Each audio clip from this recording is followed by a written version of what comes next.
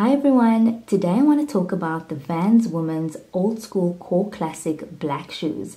I've been wearing these for a while now and I have to say I'm really impressed with them. First off, let's talk about the style.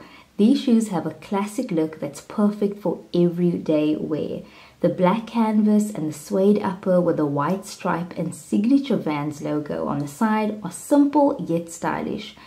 I always get compliments on them when I wear them out on to comfort, these shoes have a padded collar and a footbed that make them so comfortable to wear. I've worn them all day without any discomfort or blisters, and the rubber outsole provides good traction, which is important when running errands or walking around the city. And one of the best things about these shoes is their versatility.